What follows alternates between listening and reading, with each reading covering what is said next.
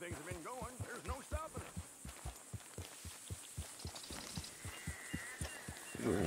it.